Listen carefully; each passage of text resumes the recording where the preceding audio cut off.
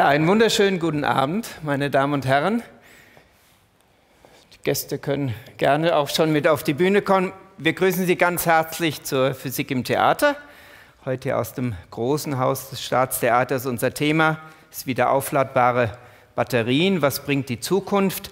Aber zunächst einmal tausend Dank an äh, Grégoire Blanc, ein junger französischer Tonkünstler, der uns heute Abend musikalisch begleiten wird und auch schon musikalisch begleitet hat. Ähm, das Theramin, sein Instrument, verwendet zur Tonerzeugung Antennen, die auf kleinste Variationen elektrischer und magnetischer Felder reagieren, ähm, die er mit seiner Handbewegung gesteuert hat. Und das ist eine großartige Verbindung zum wissenschaftlichen Vortrag, den Sie später hören, weil nämlich dort auch elektrische und magnetische Felder eine ganz wesentliche Rolle spielen werden. Nun, Sie sehen schon, das Format heute Abend ist etwas anders, als Sie es gewöhnt sind von der Physik im Theater. Und das hat einen sehr guten Grund. Ähm, es ist nämlich ein ganz spezieller Vortrag. Der Referent unseres Vortrags heute Abend, Alexei Tscherchow, ist der erste Preisträger eines neu initiierten Forschungspreises, und zwar ein Forschungspreis, der gemeinsam von der Karl Zeiss Stiftung und der Alexander von Humboldt Stiftung gegründet wurde und seit letztem Jahr ähm, jedes Jahr an eine herausragende Forscherpersönlichkeit aus dem Ausland verliehen wird. Und deshalb bin ich auch heute nicht allein hier auf der Bühne, sondern ich freue mich sehr, äh, begleitet zu werden von Frau Dr. Rebecca Großmann und Herrn Lukas Findeisen, die äh, für die Alexander von Humboldt Stiftung und die Karl Zeiss Stiftung uns einige Worte über diesen Preis und auch über den Preisträger erzählen werden. Im Anschluss wird der Vizepräsident für Forschung und äh, Nachwuchsförderung unserer Universität hier in Mainz, Stefan Müller-Stach, auch noch ein Grußwort an Sie richten. Ähm, ich komme später nochmal auf die Bühne, um den Sprecher einzuführen. Ich wünsche Ihnen jetzt erstmal viel Spaß mit den Darstellungen der beiden Stiftungen.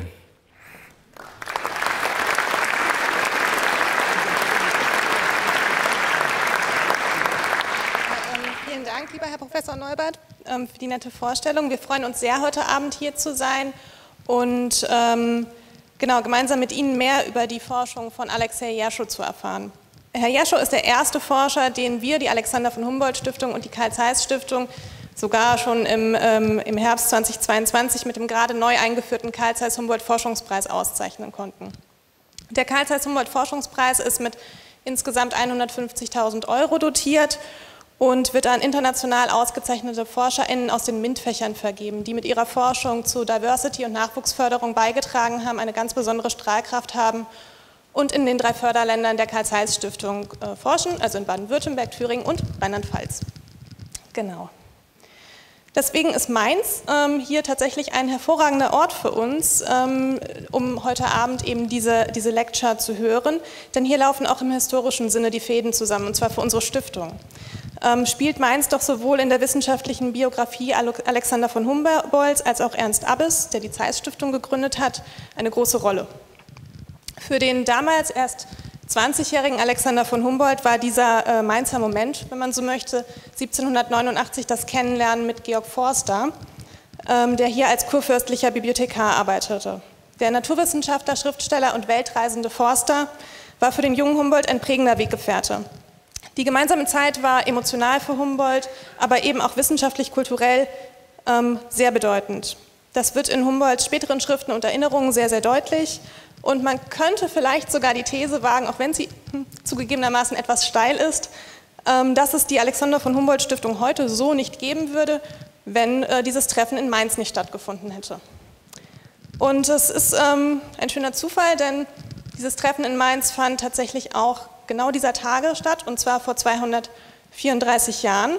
Denn 1790 reiste Humboldt noch einmal nach Mainz, um ähm, sich hier mit mit Forster zu treffen und traf hier am 21. März 1790 ein.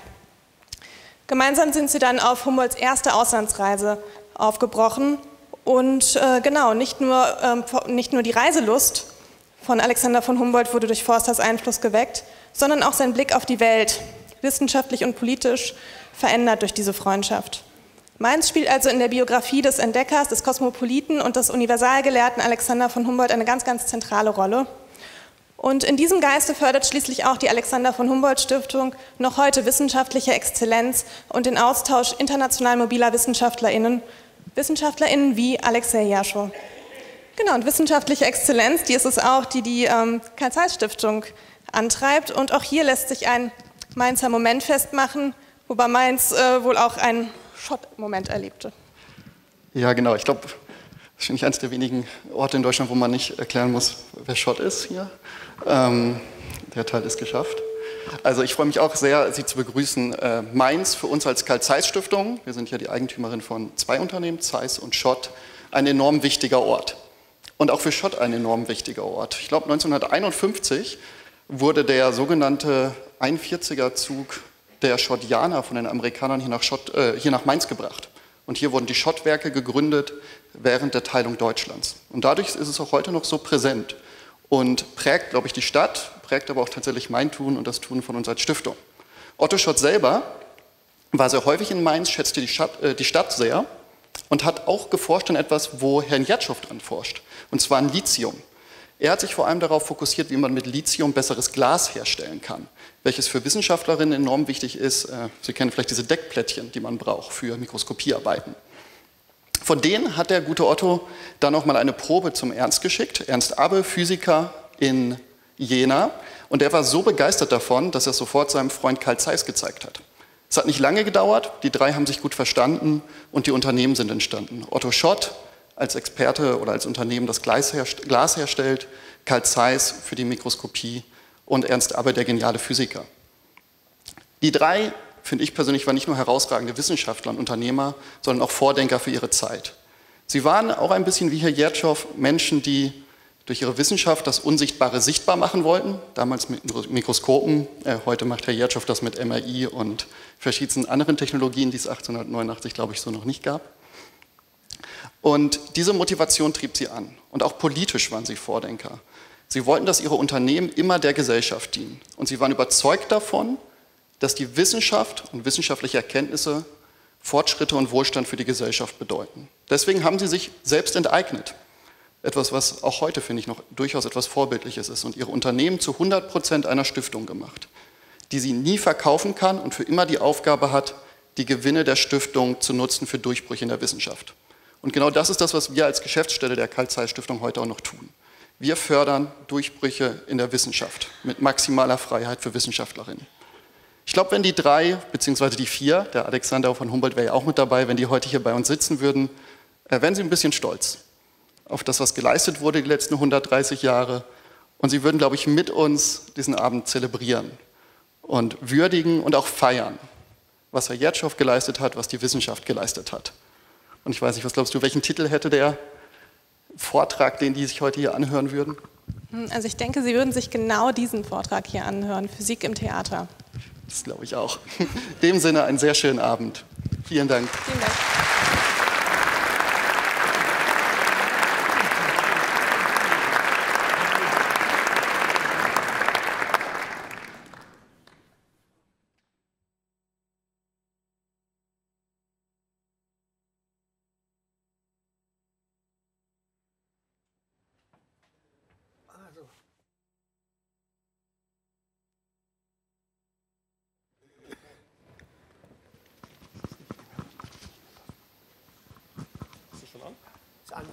Das ja? Oh, super. Ich brauche noch ein Mikrofon, Entschuldigung. Ja, meine Damen und Herren, ich begrüße Sie ganz herzlich im Namen des Präsidiums der Johannes Gutenberg Universität zu dieser Veranstaltung von Physik im Theater. Wir haben schon ganz vieles gehört. Ich wollte Sie aber auch noch mal kurz begrüßen heute Abend und Sie willkommen heißen zu dieser Veranstaltung.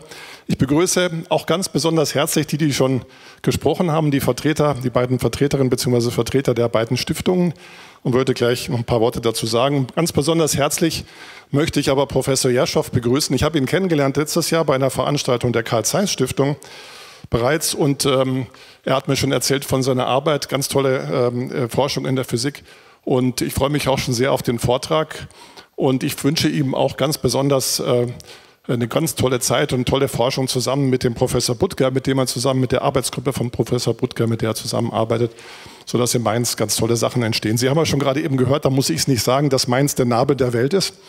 Das ist schon mal fantastisch, finde ich auch so. Also besonders unsere Universität. Wir wollen uns natürlich stärken und wollen das auch so sehen. Und die Forschung soll natürlich ganz toll sein, sodass wir auch in der Forschung der Nabel der Welt sind und in der Nachwuchsausbildung. Ist ganz wichtig. Ähm, ich persönlich bin auch für Transfer zuständig in meinem Ressort. Und das Format hier Physik im Theater ist eigentlich neben der Stiftungsprofessur, die manche von Ihnen bestimmt auch kennen, und dem Studium Generale bei uns einfach die tollste Veranstaltung, die wir in unserem Transferprogramm haben. Also Transfer im Sinne von Austausch zwischen der Universität mit der Gesellschaft. Und es ist einfach ganz toll. Und heute ist es noch toller für mich, weil man steht nicht sehr häufig auf dieser Bühne hier im großen Haus, wir sind ja meistens so ein kleinen Haus und hier unten, oben ist es ein bisschen aufregend in der Bühne, finde ich, weil ich gehe ab und zu hier auch so ins Theater oder in die Oper und das ist hier ein ganz heiliger Ort und hier selber vorne zu stehen ist irgendwie ganz toll, finde ich. Das ist sehr aufregend für mich. Ähm, obwohl ich viele Großworte mache, ist das immer noch was Besonderes, hier zu stehen. Das ist einfach eine ganz tolle Kulisse.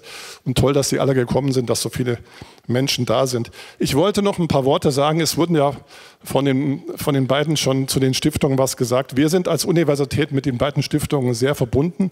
Wir haben zufälligerweise im letzten Jahr mit beiden jeweils eine große Veranstaltung in Mainz gehabt, bei uns auf dem Campus ähm, weil die beide Stiftungen haben eine große Community, haben viele Förderprogramme, die wir erstens von, mit unserer Universität sehr rege nutzen und sehr gerne nutzen und die uns viel auch ähm, bringen äh, an, an, an Möglichkeiten, die wir alleine nicht schaffen können. Ähm, ich würde das vielleicht mal als Brückenbildung bezeichnen. Also ich glaube, das ist vielleicht das beste Wort dafür. Wir können damit, also Wissenschaft muss man vielleicht erstmal, das wissen Sie alle, die Sie herkommen, natürlich, Wissenschaft lebt von der Zusammenarbeit und von der internationalen Kooperation. Und zwar über politische Grenzen hinweg oder über Regimegrenzen oder sonstige Dinge hinweg haben wir ganz enge Verbindungen mit Menschen auf der ganzen Welt und versuchen das offen auszutauschen, unser Wissen. Und dazu helfen uns die Stiftung ganz besonders, neue Brücken zu bilden, die wir selbst sozusagen nicht so ganz einfach machen können. Mit unserem Grundhaushalt zum Beispiel nicht. Auch vielleicht nicht mit gewissen Drittmittelprojekten, die in Deutschland äh, gefördert werden. Nur wir brauchen auch Brücken ins Ausland und ganz verschiedene Arten von Brücken. Und die Stiftungen haben alle ein ganz tolles Förderportfolio entwickelt, das sie auch differenziert ein bisschen von den anderen. Die individualisieren sich dann sozusagen und wir können das nutzen und da ganz besondere Brücken bilden. Also die Zusammenarbeit von Professor Jerschow jetzt mit der Gruppe Dima Butke und der Universität Mainz zum Beispiel ist eben möglich durch diese Förderung dieser, dieses tollen Preises. Und ähm, es gibt ganz andere Möglichkeiten. Ich habe vor zwei Wochen ähm, in Heidelberg durfte ich sein, da haben wir ein Zentrum mit der Karl-Zeiss-Stiftung äh, eröffnet, äh, wo Mainz, Heidelberg und Karlsruhe beteiligt sind. Und da haben wir auch von Brückenbildung gesprochen, weil dann ist eine gewisse Art von Verbundenheit zwischen den drei Universitäten möglich, die wir sonst äh, mit so einem Zentrum, die wir anders nicht machen können. Also eine sehr langfristig angelegte Sache äh, und die und Stiftung unterstützen uns da ganz besonders dabei. Also vielen Dank auch Ihnen. Wir stehen da hinten und warten. Wir gehen uns alle zusammen dann in die erste Reihe dann davor. Ähm, vielen Dank für diese Unterstützung. Wir nehmen das sehr gerne an und werden natürlich weiterhin mit den Stiftungen zusammenarbeiten. Jetzt freuen wir uns aber, glaube ich, auf den Vortrag. Ich wünsche Ihnen viel Vergnügen und ähm, gute Unterhaltung und gute Erkenntnisse und Einsichten. Schönen Dank.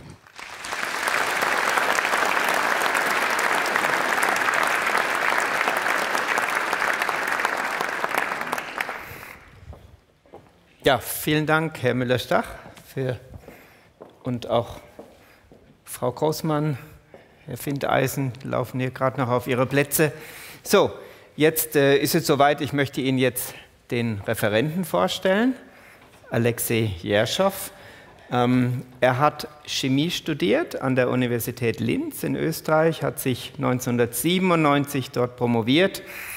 Ähm, es folgten dann die üblichen äh, Postdoc-Jahre als Forscher. Da war er zunächst an der Universität Lausanne in der Schweiz und dann an der äh, University of California in Berkeley, bevor er 2001, also nach nur vier Jahren als Jungforscher, dann schon auf eine Professur berufen wurde an die sehr renommierte äh, New York University, die direkt auf Manhattan liegt, in New York City. Und äh, dort ist er nach wie vor als Professor tätig. Sein äh, Tätigkeitsbereich ist ganz breit. Er arbeitet über Anwendungen in der Medizin, in der Batterieforschung, aber auch hin zu Methodenentwicklungen und zur Grundlagenforschung, also ganz breit aufgestellt. Er hat viele, ähm, viele wichtige Preise und Auszeichnungen, ich möchte nur vier erwähnen. Es ging schon ganz früh los mit einem Promotionspreis der österreichischen Chemischen, muss ich aufpassen bei Physik im Theater, Chemichengesellschaft. Ähm, er hat den Wiley-Preis für Nachwuchswissenschaftler erhalten. Er ist Fellow der International Society of Magnetic Resonance und jetzt sicherlich das krönende, äh, der krönende Abschluss, dieser wichtige Preis jetzt als erster Preisträger des Carl Zeiss Humboldt Forschungspreises. Es ist übrigens, und dann bin ich auch am Ende, nicht das erste Mal, dass Herr Jerscher auf einer Theaterbühne steht. Er hat bereits im zarten Alter von zehn Jahren in äh, Dürrenmatz die Physiker schon mal eine Rolle gespielt. Nicht die Hauptrolle, aber sozusagen eine wichtige Nebenrolle. Und da hat er erste Erfahrung gesammelt. Jetzt möchte ich ihn auf die Bühne bitten, endlich nach diesen vielen Vorworten. Herzlich willkommen, Alexei Jerschow. Danke.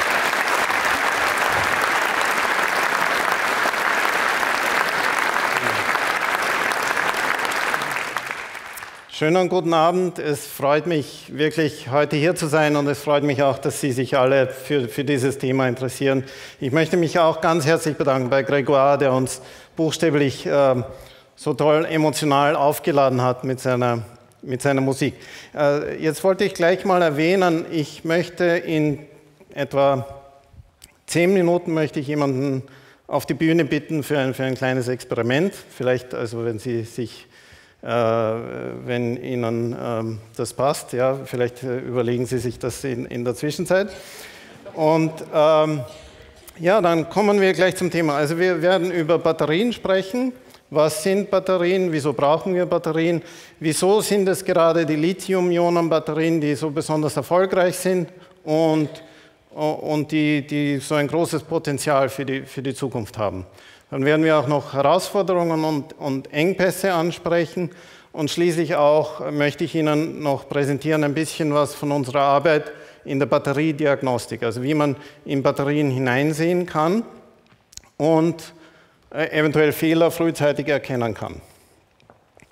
Nun, äh, Sie sehen ja schon hier, äh, dass die aufladbaren Batterien unserer Gesellschaft ja schon radikal geändert haben.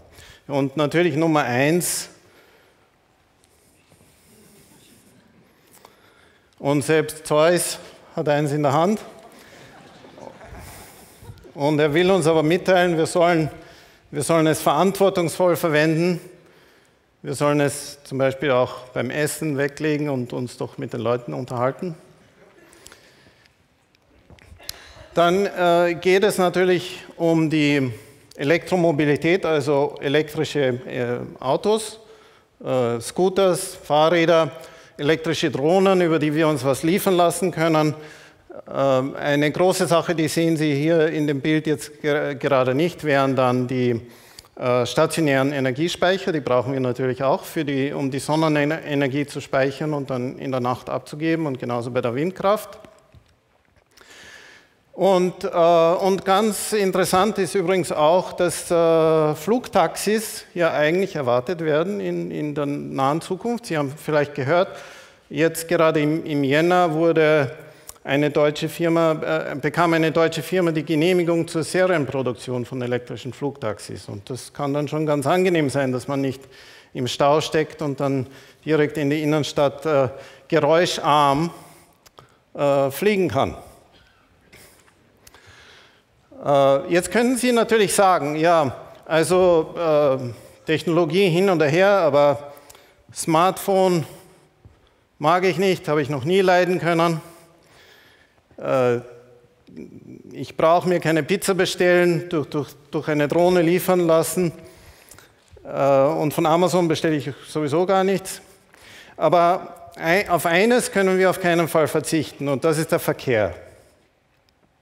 Und das wissen wir ganz genau, weil, sich die, weil die Zahlen hier ganz klar sind. Und das war auch schon vor dem Smart Smartphone so. Also stellen Sie sich mal vor, so einen Kuchen, der stellt die, die ganze Energie dar, die wir als Gesellschaft verbrauchen für alles Mögliche, für Lebensmittel, für Kleidung, natürlich auch für den Verkehr, äh, für, äh, für Gegenstände, die wir halt so im Leben brauchen, Möbel, alles Mögliche, alles zusammen, Industrie, alles zusammen gemixt, das ist der Kuchen.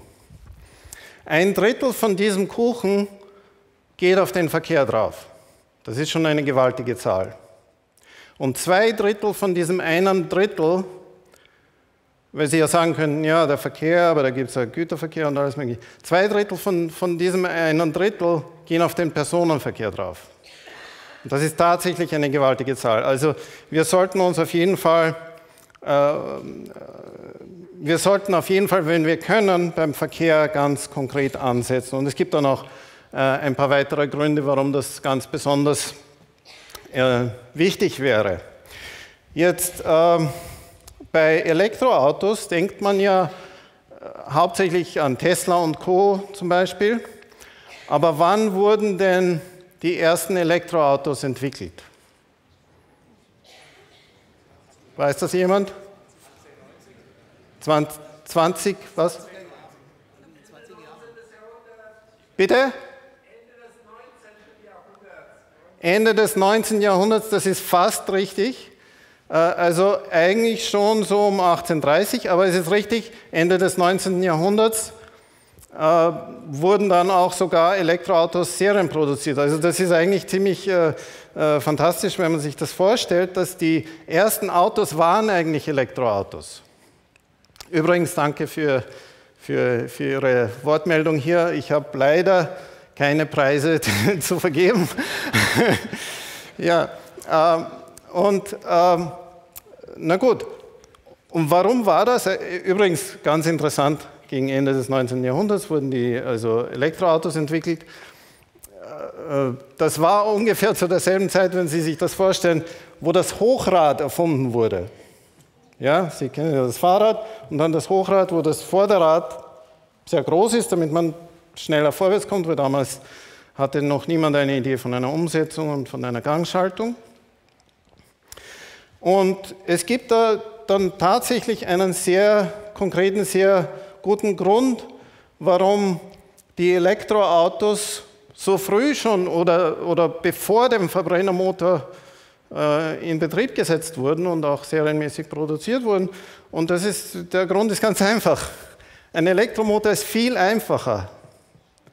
Ich meine, wenn Sie sich einen Verbrennermotor, einen Benzinmotor vorstellen, da geht es ja im Prinzip um eine, äh, darum, kontrollierte Explosionen in Vorwärtsbewegung umzuwandeln. Das ist eigentlich total verrückt.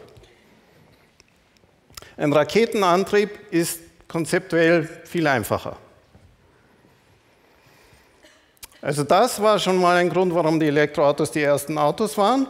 Und der Grund, warum die Elektroautos sich dann zu dem Zeitpunkt nicht weiterentwickelt haben, war eigentlich nur die Batterie. Also es geht, um, es geht jetzt darum, dass wir in der heutigen Zeit diese, äh, diese Technologie wieder aufleben lassen können, dadurch, dass wir sehr leistungsstarke, sehr gute, belastbare, aufladbare Batterien haben. Übrigens ist es auch interessant, und Viele von Ihnen wissen das äh, garantiert. Was ist denn dann mit dem Elektroauto passiert? Und zwar, das hat sich sozusagen evolutionär rückentwickelt und wurde dann eingebaut in einen Verbrenner, in ein Benzinauto als Startermotor. Weil Sie müssen ja den, den, das Benzinauto müssen Sie ja anwerfen und bevor es den Elektro, den Startermotor gab, musste man ja kurbeln. Das wissen Sie ja von Charlie Chaplin-Filmen. Das war auch nicht ungefährlich. Sie kennen ja die Szenen, wo man kurbelt und dann fährt das Auto davon ohne den Fahrer. Und da hat praktisch der Elektromotor überlebt in dem Benzinermotor als trojanisches Pferd. Und heute holen wir ihn heraus und er übernimmt die ganze Welt.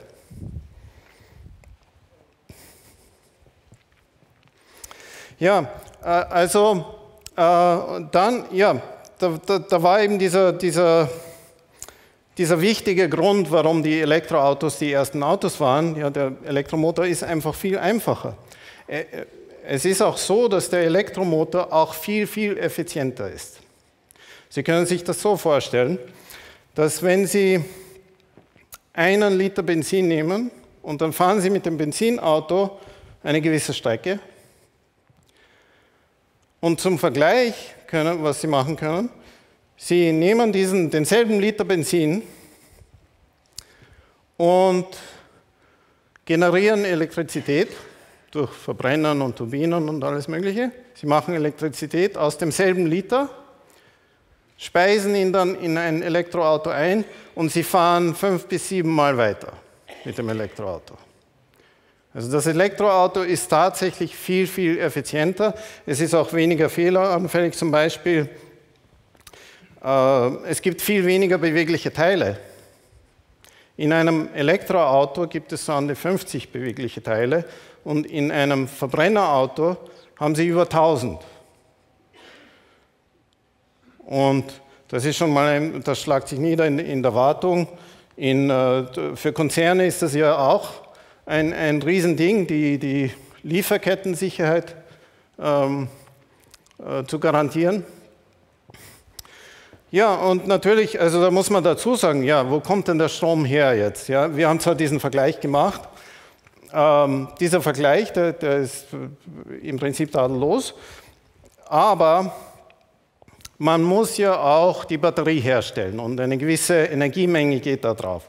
Und äh, Sie müssen das die jetzt nicht von mir nehmen, aber Sie können sehr leicht äh, eine Reihe von Studien finden im Internet, wo das ganz detailliert aufgelistet wird.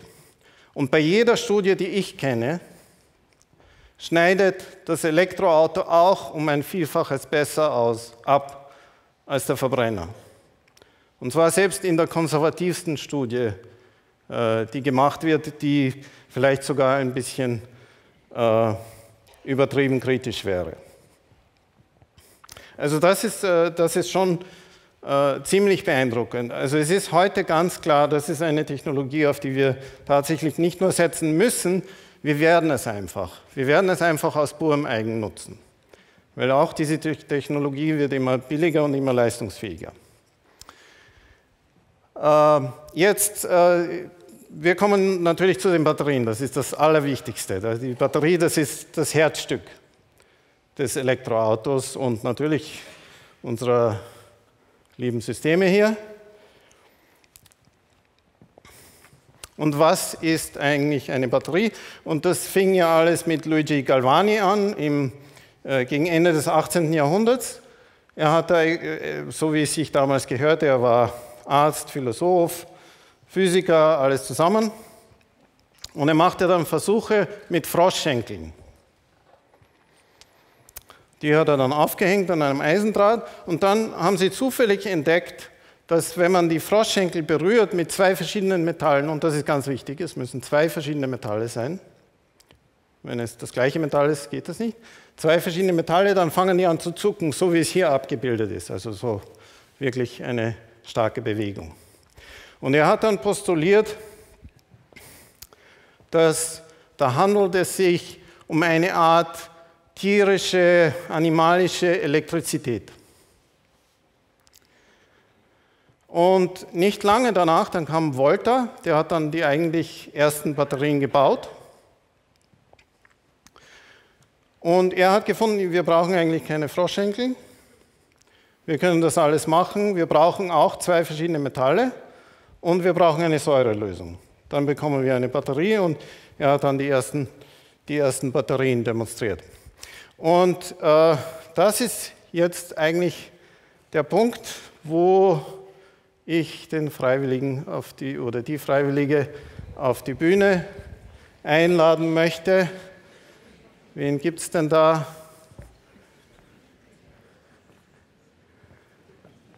Ah ja, da hätten wir jemanden. Äh, gibt es Konkurrenz? Nicht wirklich? Also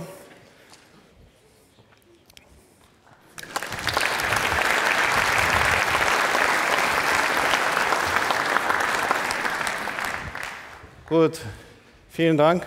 Äh, wie, wie heißen Sie denn? Konrad. Konrad, danke schön. Waren Sie schon mal hier auf der Bühne? Ich auch noch nicht. So, bitte sehr. Äh, vielleicht setzen Sie sich mal hier hin. Okay. Äh. Okay. Gut, man nehme eine Zitrone und mache eine Batterie draus.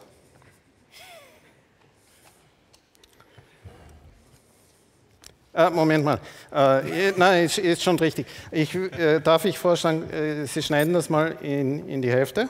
Ah, übrigens, ich wollte ja das alles projizieren auf dem Bildschirm.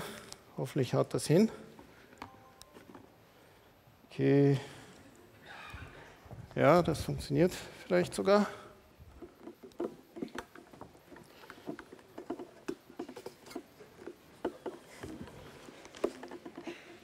Okay, sehen wir da was? Okay, wir sehen die Zitrone. Ja, in die Hälfte schneiden. Dann haben wir mal zwei Hälften. Und tut mir leid wegen der Vibration hier.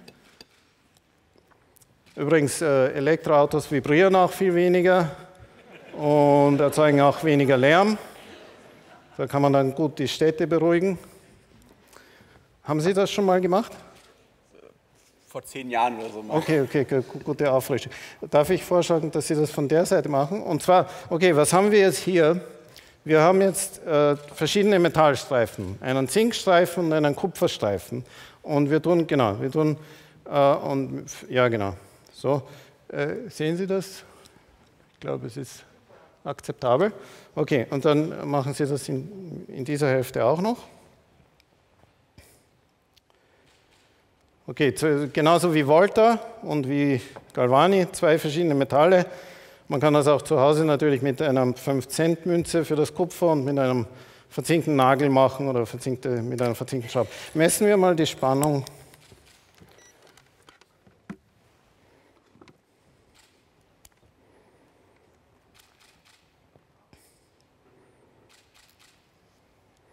Okay, was haben wir hier? Nein, nein 0,9 äh, Volt ist, ist ganz passabel, würde ich sagen. Also zum Beweis. Ah, ja. Sieht man das? Das ist irgendwie spiegelverkehrt. Okay, das, das können wir jetzt nicht, äh, nicht äh, äh, verbessern. Aber okay, was machen wir denn, wenn wir, äh, sagen wir, eine größere Spannung? Verbinden. Genau, wir schalten sie in Serie. Äh, dann nehmen wir die Kabel an. Genau, also die verschiedenen. Ja, und was haben wir jetzt für eine Spannung? 1,8. Ja, so rund 1,8. Okay, jetzt ist es natürlich viel interessanter, wenn wir etwas damit machen können, oder? Jetzt schalten wir, versuchen wir mal vielleicht diese LED zum Leuchten zu bringen. Und ich weiß nicht, ob das bei dieser Be Beleuchtung, äh, und da können Sie diese Kabel ja, verwenden.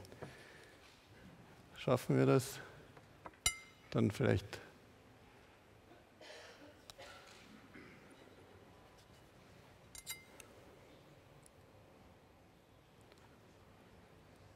Äh, ist das richtig gepolt? Ist vielleicht nicht richtig gepolt.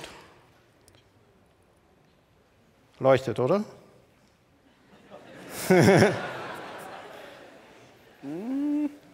Darf ich mal? Ja. Ich glaube, es liegt ich glaube, es leuchtet, also da müssen Sie mir glauben, es, es leuchtet. äh, es ist mit dieser Belichtung. Äh, gut, versuchen wir was anderes. Äh, versuchen wir, das ist jetzt irgendwo abhanden gekommen, äh, ah ja, einen Lautsprecher zu, ähm, anzuwerfen. Zu, ja.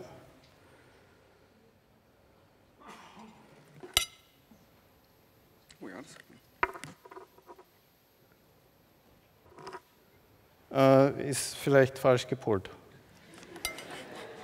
Also es gibt immer nur zwei Möglichkeiten.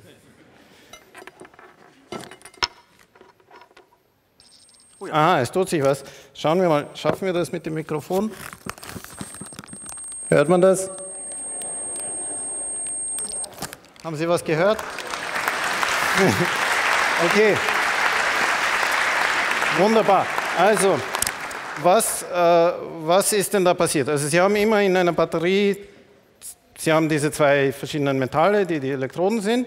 Dann haben Sie äh, eine Elektrode, an der Sie eine sogenannte Oxidation haben. Und das bedeutet, Sie geben Elektronen ab. Ah ja, da muss ich umschalten. Okay. Äh, und Sie machen da weiter in der Zwischenzeit? Also an einer Elektrode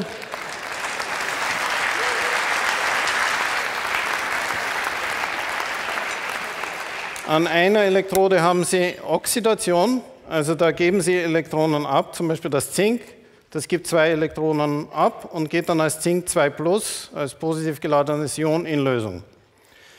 An der Kupferelektrode, da, da hat das Kupfer eigentlich nichts zu schaffen. Da, da, da, muss irgendwas diese Elektronen aufnehmen. Und das ist eigentlich das H plus aus der Säure. Das nimmt die Elektronen auf und geht dann als Wasserstoffgas irgendwo verloren. Und, äh, und die Elektronen, die gehen dann natürlich durch den Schaltkreis und das ist, das, das ist dann was, was den, den, äh, also die Geräte antreibt. Und äh, natürlich, die Zitrone ist nicht aufladbar. Also wir können den Prozess nicht umkehren, weil was müssten wir denn da machen? Wir müssten dann alle diese Zinkionen finden und wieder denen zu verstehen geben, sie sollen jetzt zur Zinkelektrode zurückkommen. Und dann müssen wir das, das Wasserstoffgas wieder finden und, und wieder äh, umwandeln und es wieder umwandeln in, in H-Plus-Ionen. Und das ist ganz wichtig, das ist etwas, was dann grundlegend anders ist bei Lithium und darauf kommen wir jetzt zu sprechen. Äh, Konrad, vielen Dank.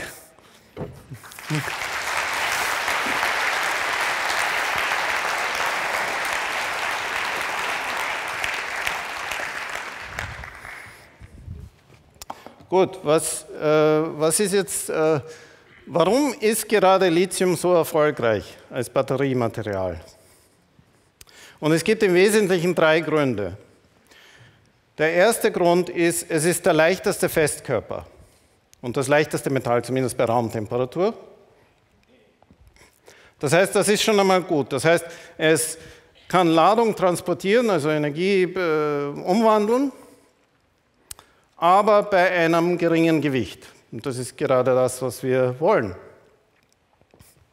Der zweite Grund ist, dass es die höchste Spannung liefert von einer beliebigen Kombination von verschiedenen Metallen. Es würde die höchste Spannung liefern an die 4 Volt. Da brauchen wir wie viele Zitronen? Äh, na, sagen wir 5 ungefähr. Ähm, übrigens, da fällt mir ein, was glauben Sie denn, wie viele Zitronen bräuchte man, um ein Smartphone anzutreiben? Irgendwelche Vorschläge? 200 200 äh, mehr?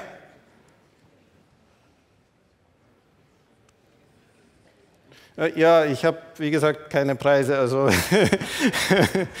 ja, äh, andere Vorschläge?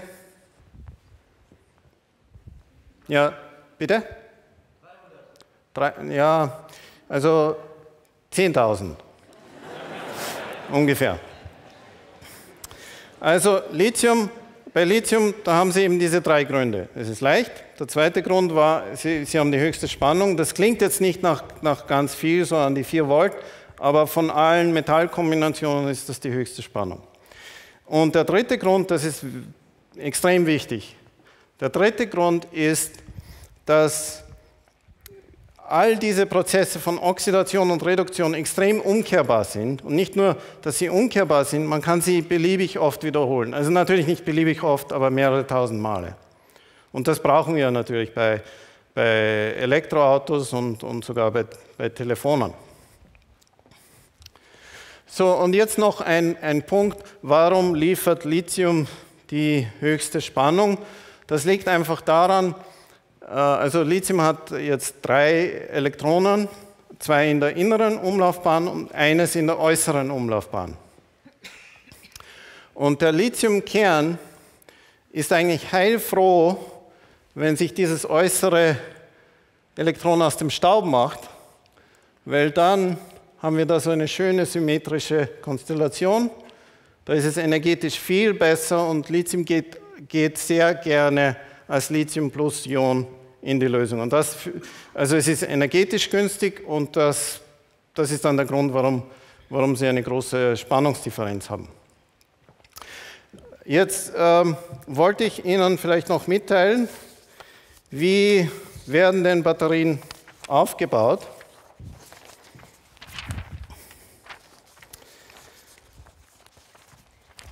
Also so ähnlich wie die Zitrone, nur eben anders. Also Sie fangen an mit einer Kupferfolie. Übrigens, die Schichten, die sind auch so ungefähr so, so dünn wie, wie diese, diese Papierblätter. Manchmal dünner, manchmal ein bisschen dicker. Sie nehmen eine Kupferfolie, die ist, alles was sie macht, ist einfach die, die Elektronen ableiten. Die beschichtet man mit Graphit. Ich habe jetzt leider, Graphit ist schwarz, aber ich habe jetzt kein schwarzes Papier gehabt. Mit einer Graphitschicht.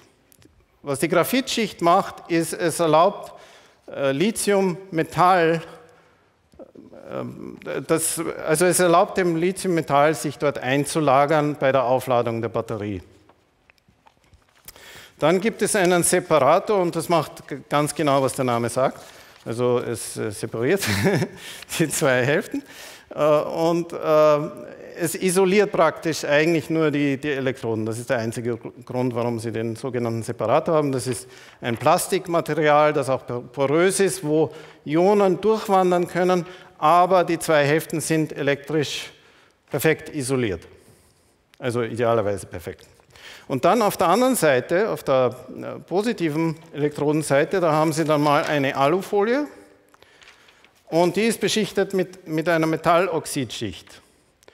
Und die Rolle dieser Metalloxidschicht ist es einfach, ähm, wenn Lithium-Ionen sich einlagern, dann helfen sie zum Beispiel dem Kobalt, wenn es eine, eine Lithium-Kobaltoxid-Elektrode ist, dann helfen, helfen sie dem Kobalt sich zu reduzieren. Also in der einen Hälfte wird oxidiert, Lithium wird oxidiert und hier wird äh, Kobalt reduziert. Das nimmt dann die Elektronen auf.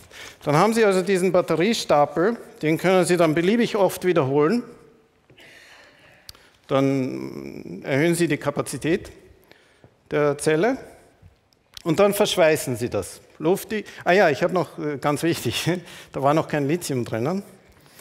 Äh, dann spritzen Sie ein eine Elektrolyt Elektrolytlösung mit Lithiumsalz. Und da ist eigentlich das erste Mal, dass Lithium äh, in Erscheinung tritt. Und dann verschweißen Sie das alles luftdicht und dann haben Sie eine Batterie, dann können Sie zum Beispiel diese hochformatige Batterie links hier machen und derzeit sieht es fast so aus, dass wir noch größere, hochformatigere Zellen bauen werden. Oder die zweite Variante wäre, Sie nehmen diesen Stapel und rollen ihn ein. Dann haben Sie eine zylindrische Zelle und zum Beispiel alle Tesla-Autos haben zylindrische Zellen. Nur halt viele davon. Übrigens, wie viele von solchen Batterien bräuchten Sie denn für ein Elektroauto?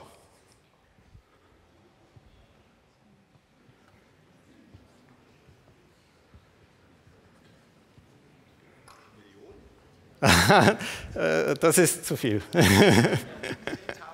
genau, es ist zufällig die, ungefähr dieselbe Anzahl, wie Sie Zitronen brauchen äh, für, für, für, eine, für eine Telefonbatterie. Und Sie brauchen ungefähr 10.000 für eine, für eine Autobatterie. Einfach nur, um die Größenordnung jetzt äh, sich vorstellen zu können.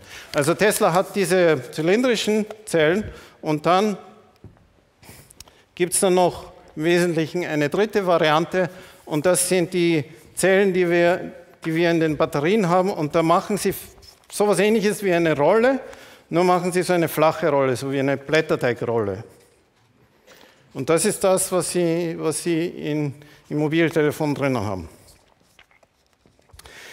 Äh, jetzt gibt es noch äh, ein paar weitere Dinge zu sagen. Erstens, was ich persönlich ganz toll finde, ist, dass 2019 der Nobelpreis für Chemie an ein Team vergeben wurde, das die Lithium-Ionen-Batterie entwickelt hat. Und was mir gefällt bei dieser Auswahl, es wurden drei Leute ausgezeichnet, dass alle drei eine andere Komponente der, der Zelle entwickelt haben. Also zum Beispiel Stan Whittingham hat diese zum ersten Mal äh, so eine Lithium-Ionen-Batterie gebaut, damals noch mit, äh, mit schwereren Materialien. Dann hat John Goodenough die, äh, die Metalloxidbeschichtung optimiert. Und das ist im Prinzip tatsächlich dasselbe Material, das wir heute hauptsächlich noch verwenden.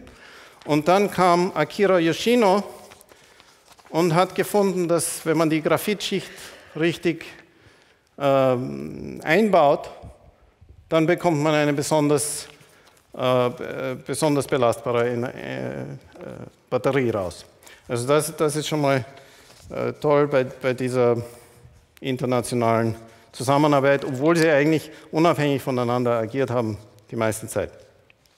Was wir dann anhand dieses Stapels auch noch besprechen könnten, äh, das finde ich auch ganz interessant, weil ähm, man sagt ja immer, also Batterien sind schwer.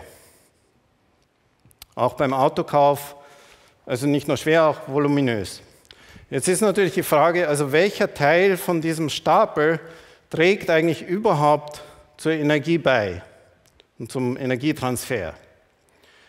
Und Kupfer ist es nicht, Graphit nicht. Der Separator ist es nicht. Aluminium ist es nicht. Und dann haben Sie noch das Metalloxid und da ist es ein kleiner Teil. Und was Sie jetzt nicht hier sehen, ist das Eingespritzte, der Elektrolyt. Der ist es nämlich auch nicht, nur das Lithiumsalz, das eingespritzt wird. Das heißt, das Lithiumsalz und dieser Teil von der Metalloxidschicht das ist das, was dann tatsächlich die, äh, die, die Ladung und die Energie überträgt. Jetzt, wenn Sie sich diesen Stapel so vorstellen,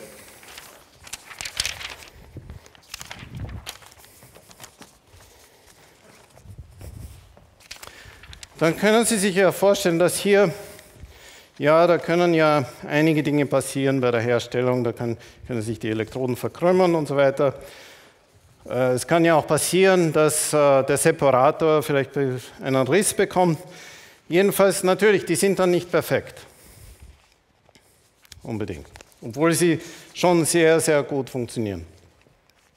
Und man hört ja öfters in den Nachrichten, ja, dass, dass vielleicht ein Elektroauto irgendwo brennt oder sogar mobile Telefone zu brennen beginnen wegen der Batterie. Äh, es kommt nicht oft vor, aber natürlich, wenn ein Elektroauto mal brennt, das hört man ja dann. Und äh, bei einem Benziner denkt man sich, ja, das ist eh klar, dass das brennt. Äh, und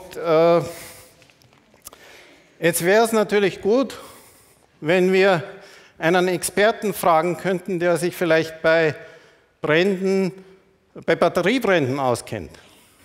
Gibt es zufällig jemanden?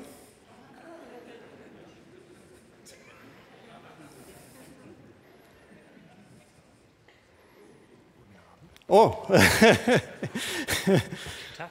Hallo. Äh, Moment mal, vielleicht äh, mit Mikrofon. äh, wer hat Sie hier reingelassen? Ja, wissen Sie, als Feuerwehrmann kommt man eigentlich überall hin. Ah ja, okay, gut zu wissen. Aber das ist, äh, das ist eine echte Uni Uniform? Also ja, das, das, ist eine echte Feuerwehruniform. Okay, okay. Ja, ja. Also sieht man vielleicht auch hier. Ja. Ja, Berufsfeuerwehr. Also können Sie uns, was, was für eine Funktion haben Sie bei der Feuerwehr? Ähm, ich bin äh, Sachgebietsleiter in der Abteilung Vorbeugender Brandschutz der Berufsfeuerwehr hier in Mainz. Mhm, mh. Und äh, Sie, wie, wie äh,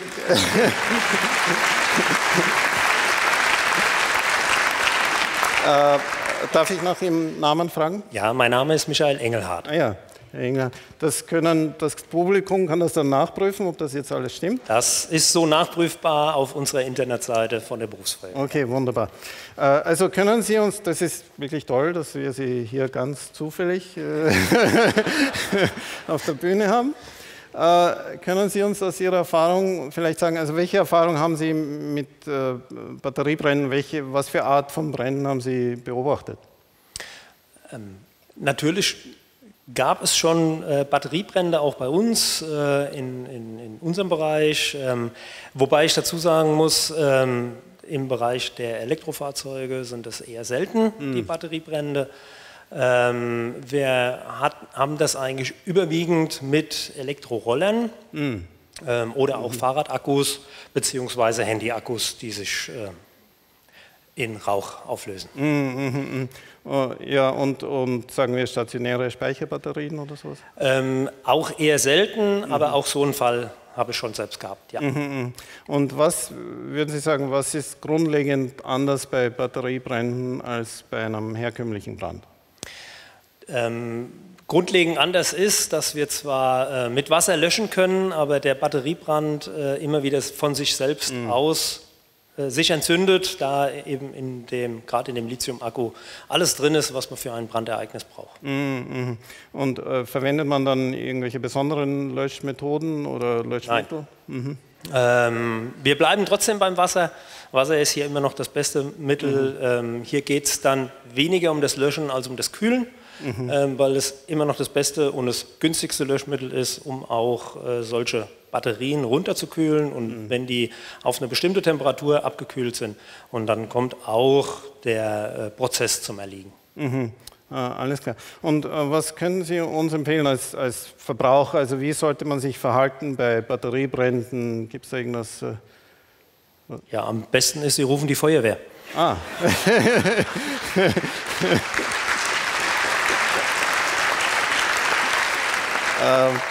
man, man, man, erreicht sie unter 112, ist das richtig? Das ist richtig hier ja. in Deutschland in der Regel unter 112. Ist übrigens eine kostenfreie Rufnummer, ja? okay, aber gibt es, äh, sagen wir, irgendwelche Vorsichtsmaßnahmen, äh, dass man Brände vermeiden kann? Ja. Ähm, Ganz klar ist, man sollte sich immer an die Herstellerangaben halten. Mhm.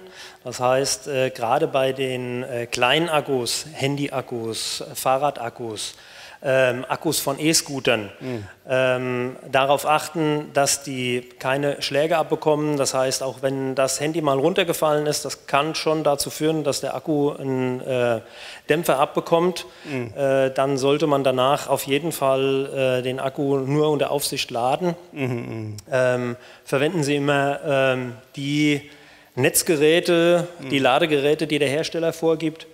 Ähm, das ist beim Elektroauto äh, etwas einfacher, weil da gibt es eben nur den Elektroanschluss. Das äh, Ladegerät ist im Fahrzeug verbaut. Mhm. Aber auch beim Elektroauto sollte man darauf achten, wenn man Grundberührung hat, sage ich jetzt mal. Also das heißt, wenn man über irgendeinen äh, Gegenstand gefahren ist mit dem Unterboden, denn meistens sitzen die Batterien im Unterboden, dann sollte man das Fahrzeug schon auch mal in die, Fahrzeug, in die mhm. Werkstatt bringen lassen, um es zu kontrollieren, sodass mhm. dass der Akku eben keinen Schaden genommen hat. Dafür. Ja, ja. Alles klar, das war wirklich wunderbar. Vielen Dank, dass Sie sich Zeit genommen haben. Bitte schön.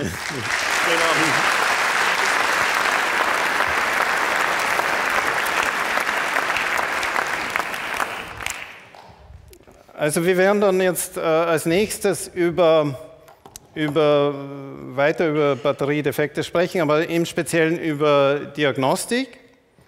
Und Jetzt möchte ich aber Grégoire wieder auf die Bühne bitten, weil wir haben die Gelegenheit, äh, noch ein bisschen von ihm zu hören. Aber bevor er zu spielen beginnt, äh, möchte ich ihn vielleicht ein bisschen ausfragen über das Instrument. Weil, ja, Grégoire. Ähm, was haben wir gesagt? Deutsch oder, Deutsch oder Englisch? Wir können es auf Deutsch probieren, aber ich habe nur ein paar Sätze um mein Instrument zu erklären, gelernt äh, und ich hoffe, dass die Illusion funktioniert. Aber wenn du mir Fragen stellst. Ähm okay, alles klar. Wir, wir kriegen das schon hin. Also, ähm, wir haben schon über die Geschichte gehört, im Prinzip. Ja. Äh, aber wie funktioniert das denn? Ja, also es ist ganz einfach. Es gibt nur diese beiden Antennen und dann und sonst nichts. Äh, ja, ein Musiker. Ähm, eigentlich, ja, aber, aber, da gibt es doch das hier. Und ja, Elektron Elektronik ja, okay. und das ist nur für meine Begleitung. Okay. Oder, voilà. äh, und so ein Musiker. Eigentlich, ich bin eine Elektrode. Mhm. Angenehm. ähm, und äh, also, ja. Ähm, so, diese beiden Antennen. Links ist die Lautstärke. Aha. Kann leise oder laut.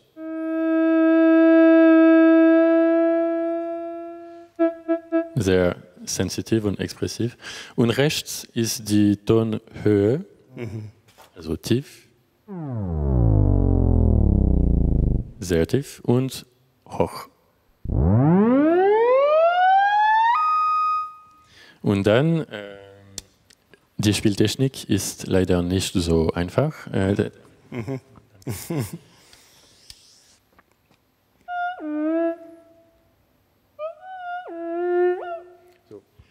Ich kalibriere mein äh, elektromagnetischen Feld, sodass ich eine Oktave dazu habe. Äh, und dann ich kann die Luft teilen. Äh, ja, ist, was ich das halt. Danke. Und dann ich kann die Luft präzise teilen, ähm, aber es funktioniert mehr oder weniger. Ich muss natürlich mein, äh, meine Höhe äh, benutzen. Äh, ja, es ist ein bisschen schwierig. ich, eine Tonleiter. Ja. Oh.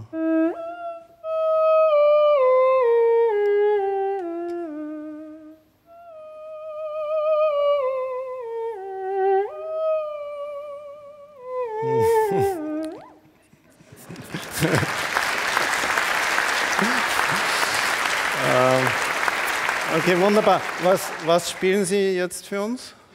Also jetzt ein ähm, fast mystisches Stück äh, aus von from in English, sorry, from the French composer Olivier Messiaen, that maybe you know. So it's a very long piece and evolving. And I have prepared. When you say very long, just tell them it's not too long. No, either, it will be fine. It will be fine. um, but langsam, yeah, and uh, expressive. Uh, and I have recorded some parts zu Hause, so uh, because ich bin ganz allein als Musiker heute. Uh, so I'm happy to have my computer to accompany uh, myself. Voilà. Okay, vielen Dank.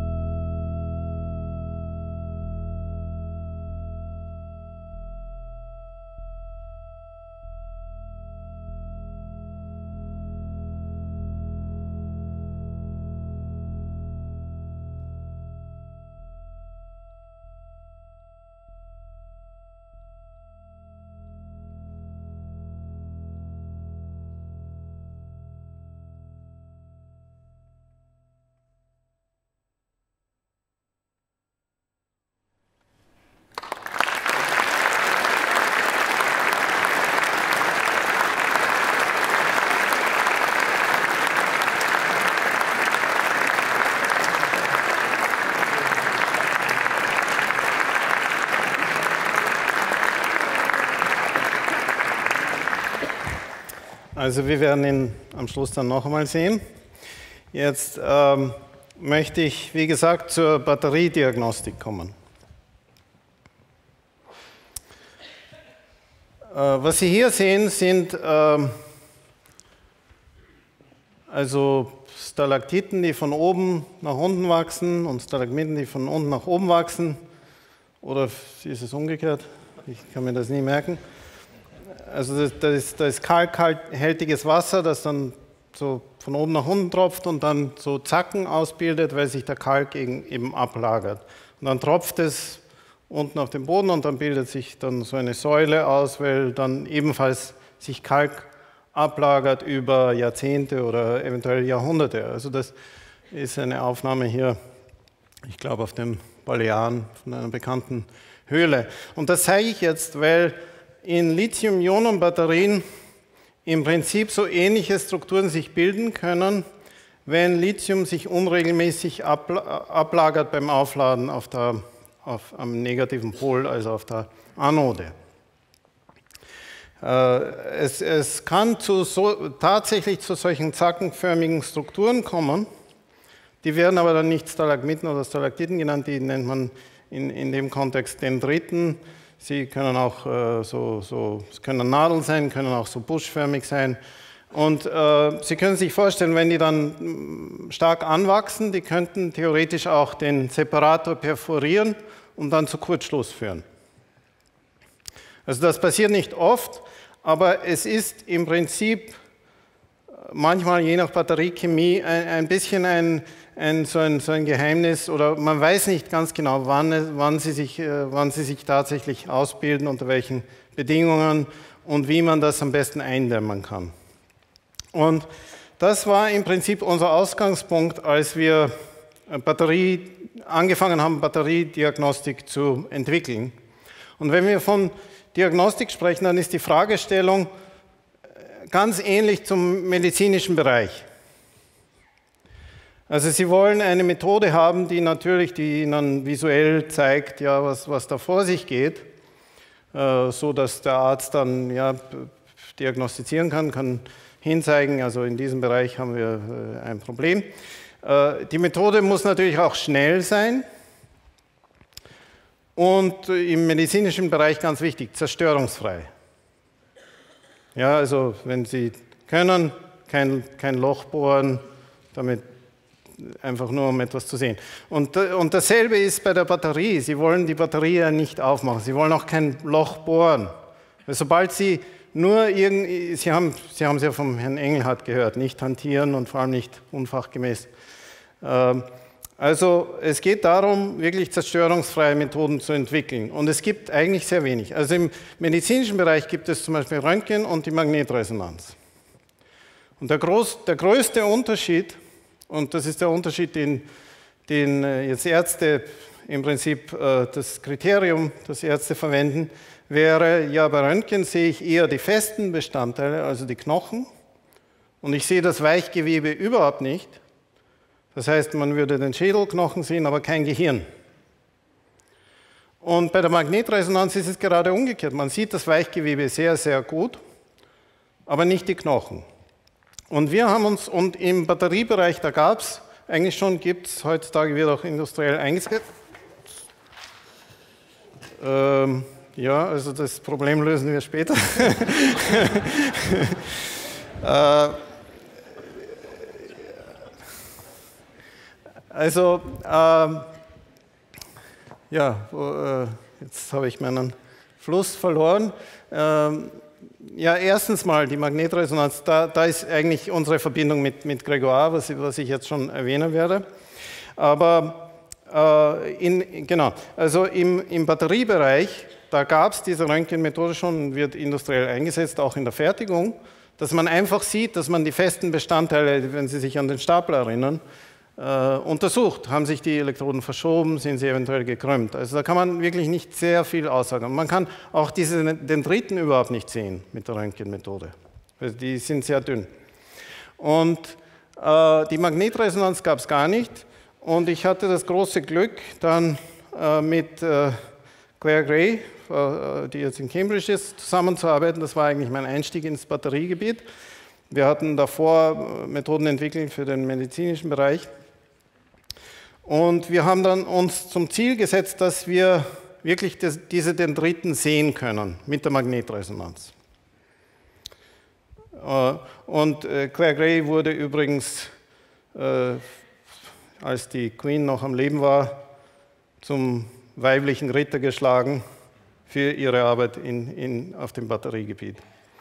Also für die Magnetresonanz, da brauchen Sie grundsätzlich immer drei Dinge. Sie brauchen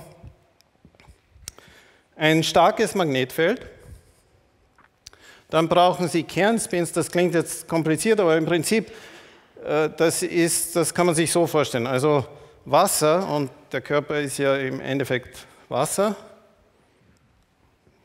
zu 80 Prozent, je nach Gewebe. Äh, Im Wasser haben Sie H2O, da haben Sie für jedes Wassermolekül haben Sie ein, ein Wasserstoffatom und jedes von diesen Wasserstoffatomen hat einen Kernspin und da können Sie sich vorstellen, das ist so wie ein kleiner Magnet. Und dieser kleine Magnet, der hat eine Wechselwirkung dann mit diesem großen Magneten. Das ist genauso wie, Sie haben ein Magnetfeld und eine Kompassnadel und die würde dann sich irgendwie ausschlagen wollen äh, in die Richtung des, des äh, eigentlichen Magnetfeldes. Und diese Wechselwirkung, die kann man über Frequenzen sehr gut messen. Die Frequenzen, über Veränderungen in Frequenzen, die im Radiobereich liegen. Und äh, da brauchen Sie also diese Radioausrüstung, Antennen, die Radiowellen aussenden und wieder empfangen. Und das ist eigentlich der Bereich, der eigentlich ganz ähnlich zu, zu dem Theremin hier ist. Also da haben Sie auch so äh, äh, Schaltkreise, die die Kapazität umwandeln in, in ein Signal und, und, genau dasselbe haben sie in der Magnetresonanz. Und wir haben dann äh, tatsächlich ähm, es geschafft, dass wir diese Dendriten quasi in Echtzeit mit Magnetresonanz darstellen konnten oder, oder visualisieren konnten, wie sie wachsen von einer Elektrode zur anderen. Und äh, da waren wir sehr froh, also diese Arbeit ist ist äh, sehr gut einsetzbar in der Forschung. Also wenn man zum Beispiel äh, untersuchen will, welche, was für Modifikationen in den Materialien haben denn einen Einfluss auf diese Dendritenbildung? Oder kann man die irgendwie eindämmen, zum Beispiel, indem man die Elektroden irgendwie beschichtet? Und da gab es dann ein, ein, kleines Problem, äh, eigentlich ein, ein großes Problem. Das war super für die Forschung, aber das ging überhaupt nicht mit kommerziellen Batterien. Übrigens, das kommt öfter vor. Und wir haben uns dann, wir haben lange, wir haben uns lange geplagt, dass wir das irgendwie hinkriegen bei kommerziellen Batterien. Die, die Aufgabe war ja, dass wir, jemand gibt uns eine Batterie, die tatsächlich industriell hergestellt wurde oder wir bestellen sie auf Amazon oder, oder auf eBay. Und wir sollen dann jetzt herausfinden, ist die überhaupt noch gut oder wenn die einen Fehler hat, was wäre der Fehler? Das war sozusagen unsere Aufgabe. Und wir haben dann wirklich, wie gesagt, äh, äh uns den Kopf an die Wand geschlagen. Das Problem ist eigentlich, dass die Radiowellen die wollen eigentlich das Metallgehäuse überhaupt nicht penetrieren, die wollen eigentlich nicht hinein, die gehen nicht hinein. Das ist genauso wie im Aufzug, da haben sie auch kein gutes äh, Telefonsignal und Radiosignal schon gar nicht, weil das ist, der Aufzug ist ein, ein metallischer Käfig. Bis wir dann herausgefunden haben, dass es dann einen anderen Effekt gibt, den wir verwenden können, um Informationen von Zellen zu bekommen. Wenn man jetzt eine Batteriezelle in ein starkes Magnetfeld legt, was nämlich passiert ist, dass sich ein induziertes Magnetfeld äh, einstellt, und das ist an sich überhaupt nichts Besonderes. Alle Materialien, die es gibt, sind irgendwie magnetisch, manche stärker, manche weniger. Also das an sich ist, ist überhaupt nicht überraschend. Was aber toll war, war, dass dieses induzierte Magnetfeld sehr stark davon abhängt, wie viel Lithium Sie in die, Anode, in, in die Kathode eingebaut haben. Das heißt, es hängt sehr stark von dem Ladezustand der Batterie ab. Und das war, und dann, wie wir das gesehen haben, das war eigentlich der Schlüsselpunkt, wo wir gemerkt haben, das ist, kann dann wirklich eine, eine Diagnosemethode sein. Und das ist, sind Bilder von, von einigen der ersten Experimente in dem Bereich. Also man, man, tut, man legt diese flache Batterie, das wäre, sagen wir, eine Telefonbatterie in so eine Halterung. Da haben sie dann äh, so Gefäße mit Wasser. Wasser ist eigentlich, was wir dann messen, wo wir das Magnetfeld messen durch die Magnetresonanz und durch äh, Magnetresonanztomographie ortsaufgelöst. Und hier sehen Sie dann schon diese Magnetfeld, also alles, was dunkler ist, ist ein stärkeres Magnetfeld. Und von links nach rechts, was Sie machen, ist, Sie, äh, Sie entladen die Batterie. Also die ist voll aufgeladen links und dann entladen Sie sie. Und das Magnetfeld ändert sich sehr, sehr stark. Das war schon mal toll.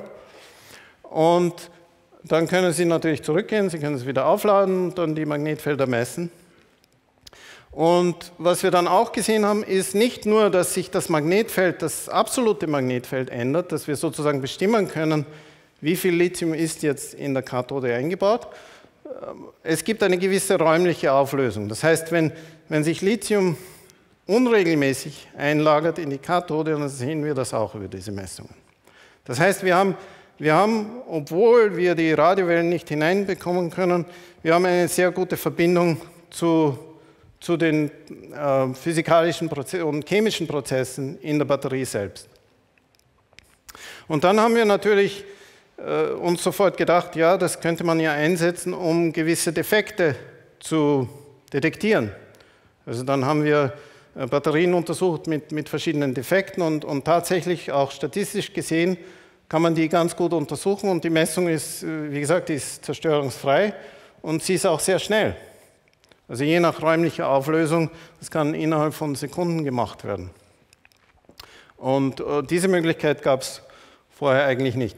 Und das bringt mich auch äh, nach Mainz dann, weil wir haben uns dann überlegt, also das war irgendwie so eine Reise für uns, wo wir angelangt sind an der Messung von Magnetfeldern. Und dann haben wir uns überlegt, naja, eigentlich die Magnetresonanz ist nicht immer die beste Methode zur Messung von Magnetfeldern. Man kann sie messen, aber man muss dann schauen, ja, wo, wo, wo ist jetzt die beste Methode. Und es gibt sehr, sehr empfindliche Magnetfeldsensoren. Und da bin ich in Kontakt getreten mit Professor Butker von der, von der Johannes Gutenberg Universität hier in Mainz und vom Helmholtz-Institut. Und der leitet eine Arbeitsgruppe zusammen mit Arne Wickenbrock hier, ähm, die äh, praktisch die Weltexperten sind für die Messung von sehr, sehr schwachen Magnetfeldern und, Änderungen in den Magnetfeldern.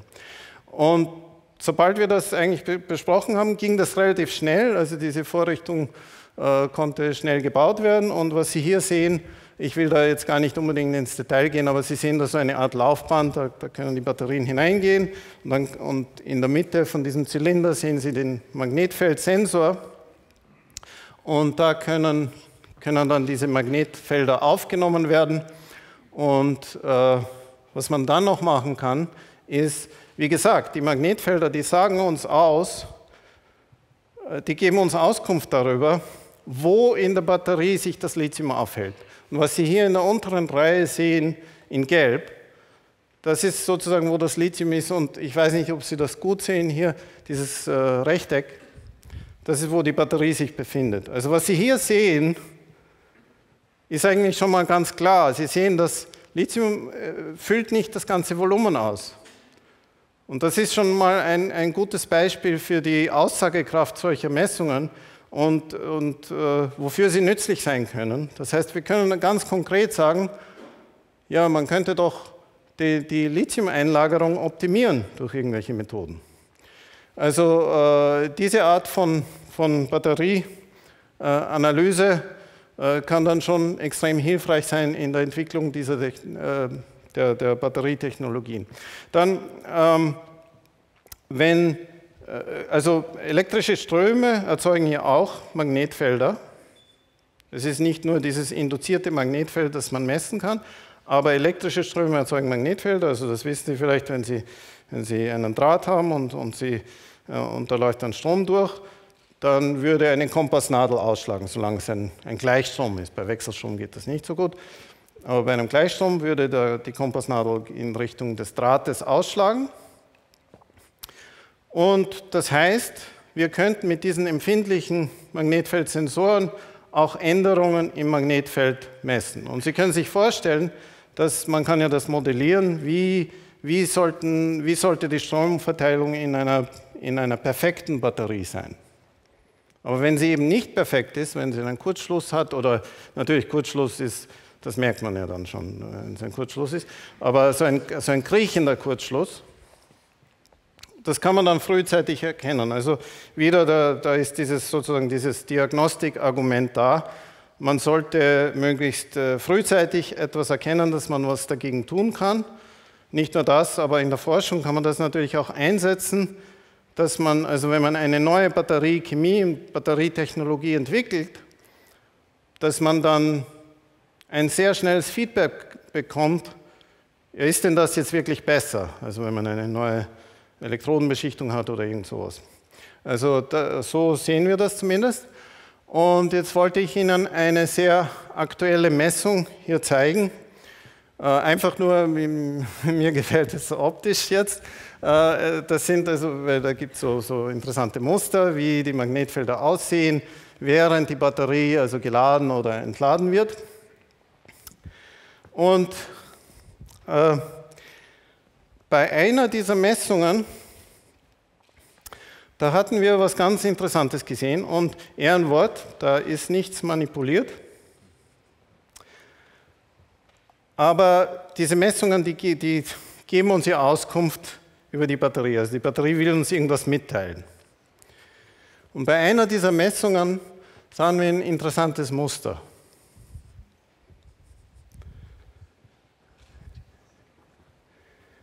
Sehen Sie es? Zum Teil. Vielleicht sehen Sie es hier. Alle oder nicht? Ja, also das ist, was wir gesehen haben. Das Herzstück unserer Technologie. Vielen Dank.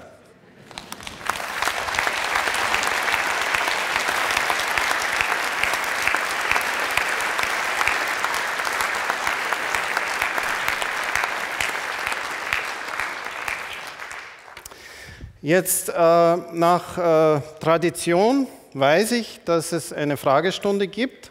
Aber nachdem wir Gregoire hier haben, machen wir eine kurze Musikpause und kommen dann zurück zur Fragestunde. Also bleiben Sie bitte hier und es gibt dann noch Gelegenheit, äh, Fragen zu stellen. Gregoire? Okay, for, yeah. Uh, you, you're a professional, right? So, okay. And these have page numbers or no? I'm very sorry.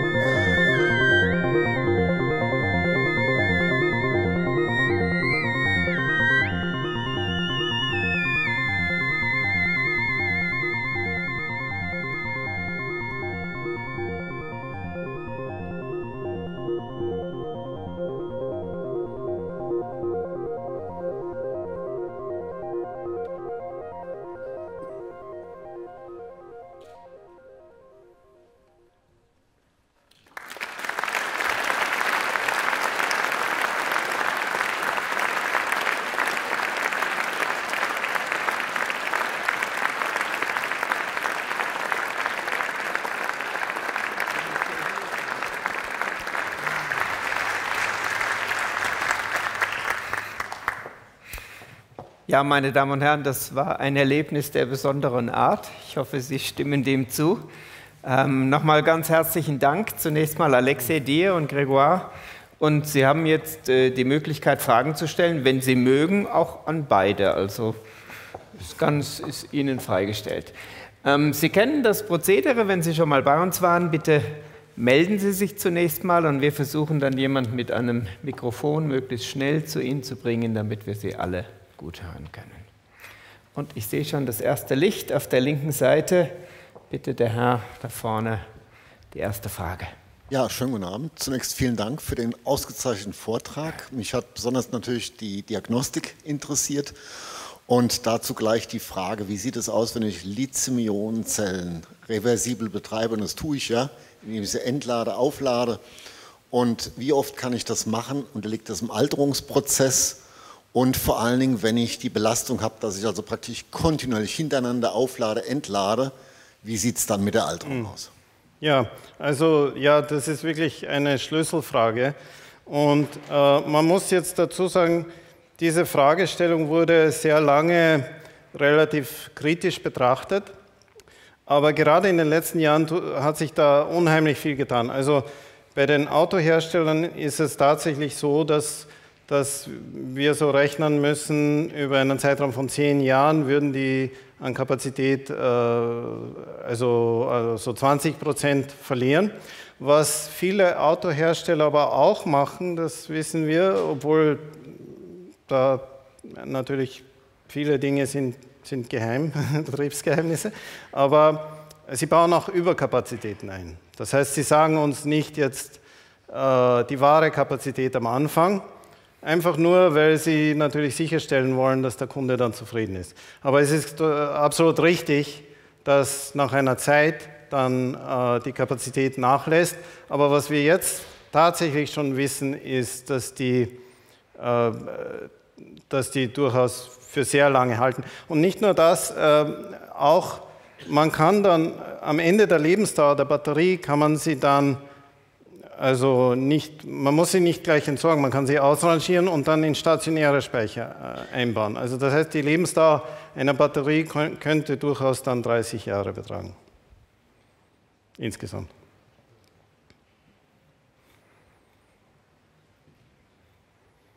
So, wer möchte die nächste Frage stellen? Ich glaube, wir bleiben auf der linken Seite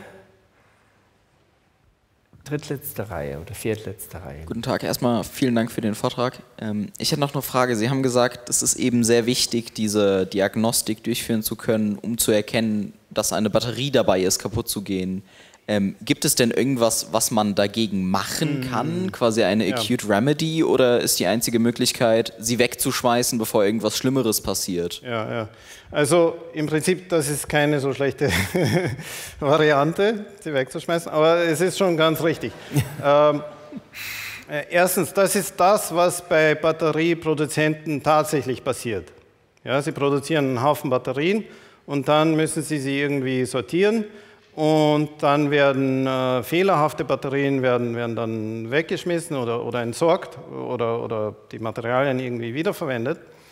Ähm, äh, das, das, ist eines, aber dann ist es ja auch so, dass, dass, ähm, äh, dass zum Beispiel die, ähm, man, man hat ja derzeit in der Industrie eigentlich gar nicht so viele Möglichkeiten, jetzt äh, die Batterie zu charakterisieren. Das heißt, wir sind in, in, in Sachen Batteriediagnostik im Prinzip, ähm, äh, wie sagt man denn auf Deutsch, breaking new ground. also äh, auf, auf, auf, neuem äh, äh, Territorium. Das heißt, wir sehen Dinge in der Batteriezelle, die man vorher nicht sehen konnte. Und das heißt, das müssen wir erst jetzt in der Praxis einmal austesten, äh, wie wir damit umgehen, was, was wir sehen praktisch. Weil ähm, äh, es ist ja auch so, dass, ich meine, diese, dieselbe Fragestellung gibt es in der Medizin übrigens auch. Ja? Man sieht oft etwas, aber es ist oft zu spät. Äh, ich wollte nicht so eine negative Nachricht hier hinterlassen. Aber, aber es ist tatsächlich so. Und, und es, ist, es ist Diagnostik, ja, es ist besser zu sehen und dann muss man natürlich Forschung betreiben, um zu sehen, was man machen kann. Eines, vielleicht sollte ich noch anfügen, äh, äh ich meine, das müssen Sie sich vorstellen, welche Auswirkungen das hat. Die Alternative von, von einigen dieser Diagnostiken ist, die Zelle aufzumachen und nachzuschauen. Sobald Sie sie aufmachen, ist sie zerstört. Nicht nur das, sobald Sie sie aufmachen, das ist äh, auch nicht ganz trivial, da könnte ein Kurzschluss entstehen, die könnte dann Feuer fangen und die, die äh, sozusagen der, äh, die, die, die Ursachen des Defekts sind dann unter Umständen gar nicht mehr da, weil sie sie aufgemacht haben. Sie haben dann diese, den dritten runtergerissen oder runtergespült irgendwie. Also das heißt, diese zerstörungsfreie Messung, die ist un, ungemein wichtig. So, jetzt gibt es eine Frage im ersten Rang oben. Und zwar ja. der Herr vorne in der ersten Reihe links. Ja, bitte. Das sollte funktionieren. Sollte, Hört man mich, ja? Okay, ja. wunderbar. Ähm, es ging jetzt viel um ähm, Lithium-Ionen-Technologie. Ähm, ist das jetzt aus Ihrer Sicht schon so das Nonplusultra im Bereich Batterietechnologie oder wo sehen Sie da so, so ein bisschen die Zukunft? Also vor ein paar Jahren hat man ja zum Beispiel viel von Graphen-Technologie und mhm. Graphenbatterien gelesen. Ja. Ähm, Gibt es da noch andere, vielversprechendere Ansätze? Ja, also es wird tatsächlich viel geforscht an verschiedenen Materialien. Aber es ist auf jeden Fall heute so, dass für die absehbare Zukunft wird es Lithium bleiben. Und es geht jetzt hauptsächlich darum, das Hauptaugenmerk wird derzeit auf die Kathode gerichtet, was für ein Kathodenmaterial wir verwenden. Wir, wir, wollen eigentlich vom Kobalt weg, weil das hat irgendwie, also die Ressourcensicherheit und so äh, spielt eine Rolle. Es ist auch giftig und da gibt es eigentlich schon sehr, sehr gute Varianten, die auch schon am Markt sind. Also das wird auf jeden Fall für 20, 30 Jahre die Lithium-Ionen-Batterie bleiben. Es gibt aber natürlich sehr starke Entwicklungen, zum Beispiel die äh, Natriumbatterie äh, und die Gesichtspunkte oder die, die, äh, die Gedanken darüber sind, sind folgende, dass, dass man es einfach leichter auch beschaffen kann. Obwohl Lithium im Prinzip, äh, da gibt es im Moment auch noch genügend davon. Aber das, das ist ein Vorteil der Natriumbatterie zum Beispiel, da gibt es viel mehr davon. Ein anderer Vorteil davon ist, dass es überhaupt nicht ähm, äh, brennen kann, also die wird äh, nicht brennt. Und, äh, aber ein Nachteil der Natriumbatterie ist, dass sie mehr Gewicht benötigt für dieselbe Leistung und daher wird sie eher in Betracht gezogen für stationären Speicher.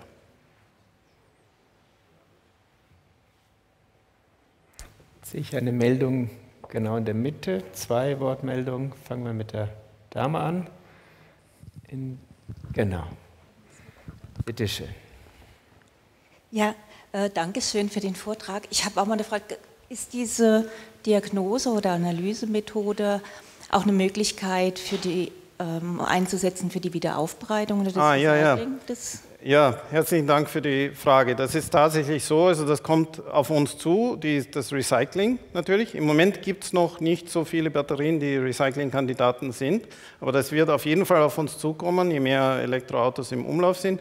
Und ähm, da gibt es aber auch, die, also die, die Sachen entwickeln sich tatsächlich derzeit rasant und es gibt schon Firmen, die, die also Recycling-Anbieter sind und auch Gewinne einfahren ohne staatliche Subventionen. Also das, das wird sicher gemacht werden und wird sicher ganz gut funktionieren. Jetzt gibt es wieder ich nehme zunächst noch den Herrn, da hat er sich erst gemeldet und dann gehen wir zurück in den Rang, weil Sie haben das Mikrofon schon in der Hand. Bitte schön. Sie haben ja eingangs den äh, Aufbau der Batterien sehr anschaulich beschrieben. Mhm. Im Allgemeinen ist ja das Volumen oder den Platz, den ich zur Verfügung habe, relativ begrenzt. Was wäre denn die wesentliche Kenngröße, mit der man die Kapazität, also die Leistung der Batterie ja. erhöhen könnte? Erhöhen. Also ja, ähm, na gut, ja, das, es stimmt schon. Also wir, ähm, wir haben unheimliche Fortschritte schon, also nicht wir, also die, unsere Zivilisation ähm, in, in der Batterieentwicklung und, und die sind ja ungemein klein geworden. Und ähm, jetzt wird zum Beispiel, also viele von diesen Verbesserungen, die, die basieren auf, auf Ingenieurwesenbasis. Zum Beispiel, man will das Verpackungsmaterial reduzieren. Das heißt, meine persönliche Meinung ist, dass ich glaube, dass Tesla im Endeffekt auch von diesen, zylindrischen Zellen dann äh, weggehen wird. Dafür gibt es im Prinzip Anzeichen. Und, ähm, und einige chinesische Autobauer, die bauen ganz große äh, Batteriezellen, wo dann natürlich weniger Verpackungsmaterial ist, weil sie haben dann eine große Zelle statt mehrere kleine Zellen. Der Vorteil von mehreren kleinen Zellen ist, dass, dass der Schaden überschaubar ist. Wenn, wenn jetzt eine ausfällt, die kann man dann, äh, also kann man dann umschalten, ausschalten aus dem Stromkreis. Äh, aber jetzt ist tatsächlich die Technologie auch so ausgereift, dass man ganz große Batterien ganz gut bauen kann. Also da ist auf jeden Fall noch äh, Fortschritt zu erzielen. Auch die Schichten, die werden immer dünner zum Beispiel. Also da wird sich garantiert noch einiges tun. So, und jetzt springen wir wieder in den ersten ran und zwar auf die linke Seite. Der Herr bitte, der vorletzten Reihe. Ja, ich hätte noch eine Frage und zwar, Batterien machen ja Spaß im Prinzip, aber ein Nachteil ist oft dieses lange Aufladen. Mhm. Beispielsweise gerade bei Autobatterien. Äh, da wollte ich mal fragen, gibt es da irgendwo einen Grenzwert oder hat man da noch viele Möglichkeiten, da ja. äh, das zu optimieren? Und zugleich auch noch vielleicht, wenn Sie was äh, über die Möglichkeit eines induktiven Aufladens ah. äh, größerer Batterien sagen könnten. Ja, das Aufladen ist, ist tatsächlich ein, eine wichtige Diskussion. Und, und da muss man ganz klar sagen, die Diskussion ist heute auch schon wieder ganz anders, als sie vor fünf Jahren waren. Also es kommen demnächst Modelle auf den Markt, die eine Reichweite von 1000 Kilometer haben und die man dann in in, ähm, in 10 Minuten auf 70 Prozent aufladen kann. Also so gesehen ist, sagen wir, die Reichweitenangst und, und das Aufladen, äh, ich glaube nicht, dass das tatsächlich zu einem Problem werden wird. Außerdem, es ist ja, wenn, wenn wir ehrlich sind, also man fährt ja nicht äh, jedes Wochenende jetzt, äh, sagen wir, 800 Kilometer und äh, für viele Pendler ist ja das absolut akzeptabel, dann äh, mit, mit, niedrigeren Reichweiten zu fahren und niedrigere Reichweiten, die kann man dann auch dann noch, noch mal schneller aufladen. Also, äh, und über das induktive Aufladen, um ehrlich zu sein, da habe ich äh, gar nichts gehört. Also ich, ich, ich glaube, das war mal als Konzept im Gespräch, aber ich bin mir nicht sicher, ob, ob da jetzt tatsächlich äh, die die Hersteller drauf setzen.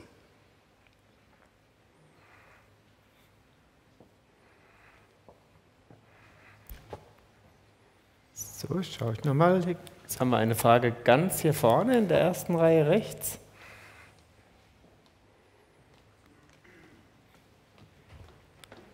Bitte schön. Ähm, äh, erstmal vielen Dank für den Vortrag und auch vielen Dank für die Musik. Und ich hätte tatsächlich zwei Fragen, jeweils eine für sozusagen den, an den Vortragenden, einen an den Musiker. Ich würde sagen, ich fange mal mit dem Musiker an. Ähm, äh, dieses Instrument ist ja doch ein recht neues Instrument, soweit ich das weiß. Das heißt, gibt es da schon viele Kompositionen oder Musikstücke, die auf dem Markt sind? Also Sie haben Messiaen erwähnt als jemanden, der schon komponiert hat. Oder ist es eher so, dass Sie selbst auch noch eigene Stücke selbst komponieren müssen für Ihr Instrument? Darf ich gerade Ihr Mikrofon nehmen direkt, weil wir haben keins für ihn sonst. Bitte schön. Dankeschön für diese Frage und ich glaube, dass ich verstanden habe. So, sehr gut.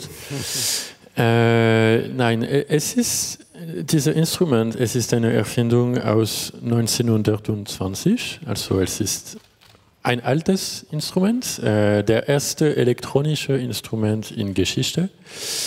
Ähm, und ja, leider der Repertoire ist nicht sehr äh, groß, so äh, heute Abend habe ich nur ähm, Arrangement äh, gemacht. Äh, die erste Stück war vom Henri Purcell, also Barock, dann Messiaen, dann Ligeti.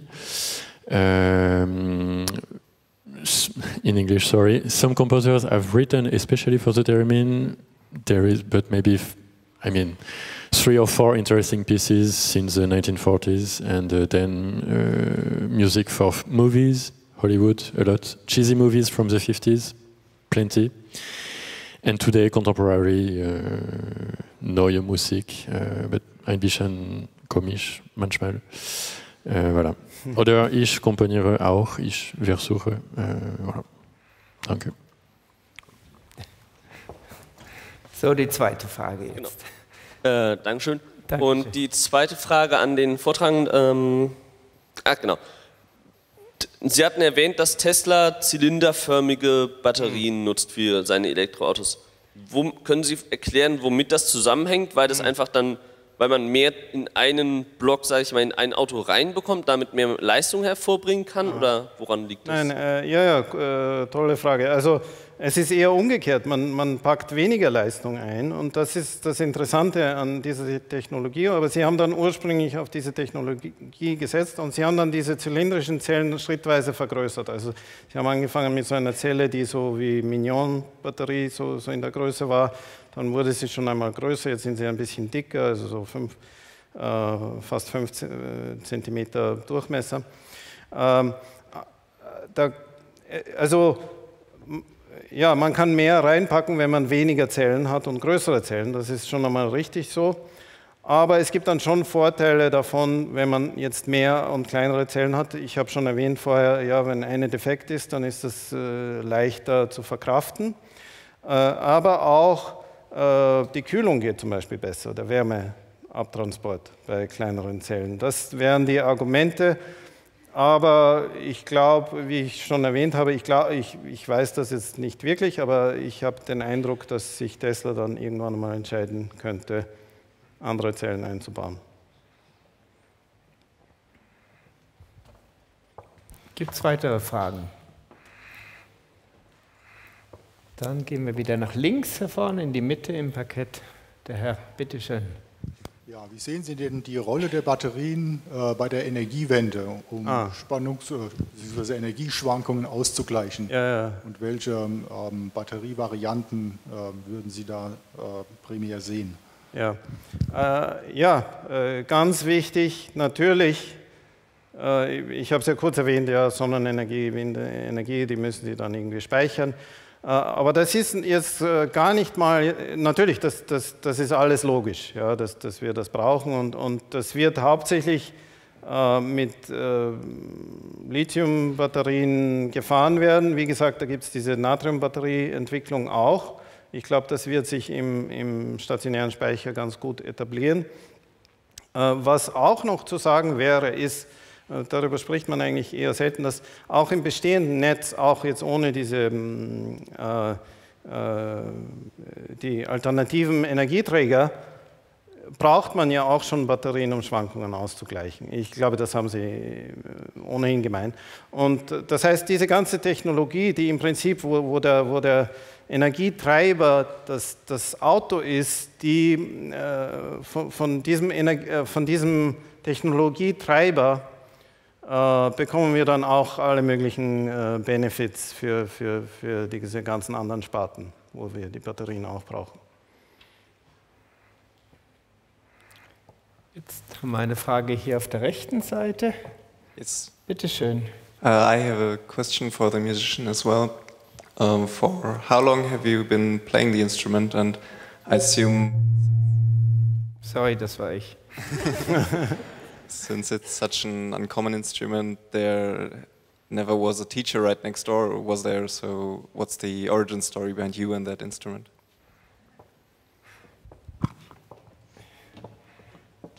Dankeschön. Bitte. Thank you for English, but I didn't understand what, what is the, what the the urgent. Ah, für wie lange? Ja. But I will still answer in English. Anyways, um, so I have been playing for 10 years, uh, a bit more. I was 15 years old, I think. And it was an accident, actually. Uh, I was playing the cello as an amateur, and then it was a Physikunterricht. Uh, and the teacher introduced us to, a bit like today in this conference, what, what that this instrument could exist. And I found it so incredible, the idea to control music without any physical contact, and that you can actually, I mean, I am the instrument, and so it is very expressive. And uh, yeah, I, I, think it really deserves some recognition outside um, sci-fi movies and weird uh, effects. It's a real musical instrument. You can approach it as you would approach a violin or a flute if you take it seriously, if you develop a proper technique. And uh, it really has a special voice. You immediately recognize the tone of the theremin and the articulation. Um, so yeah, it deserves. The, the, synthesizer has taken everything in electronic music. You always have a keyboard and then sound generators. So that's super cool. But these are machines that you program, uh, like a DJ would uh, tweak sonic parameters, but he wouldn't really uh, play music like a classical musician. And uh, so this is totally the opposite. The tone is absolutely boring there is no life, nothing happens, and then it's just the role of the musician to, to make something out of it. I hope it answers your question. Thank you.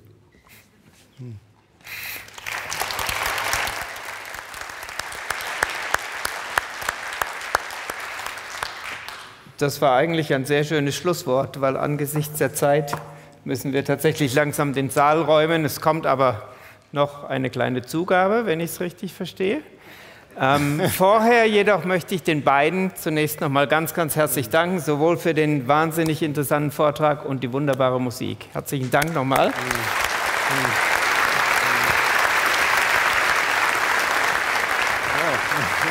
Ein kleines. Geschenk.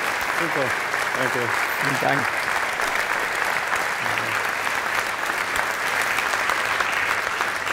Und bevor wir eine kleine musikalische Zugabe noch haben, der Hinweis auf die nächste Veranstaltung bei Physik im Theater. Wir sind dann wieder im kleinen Haus und zwar am 1. Juni. Das ist ein Samstag um 18 Uhr und es geht jetzt tief in die Kosmologie und zwar zu den Gravitationswellen. Das Thema, also Vortragender wird sein äh, Professor Kai Schmitz von der Universität Münster und das Thema ist äh, ein Beben in der Raumzeit mit Gravitationswellen von schwarzen Löchern zum Urknall. Ist also alles dabei, was Ihre Fantasie beflügelt. Freuen Sie sich auf den Vortrag, genießen Sie jetzt nochmal die Musik und kommen Sie dann gut nach Hause. Herzlichen Dank für Ihr Interesse und bleiben Sie uns treu. Mm-hmm.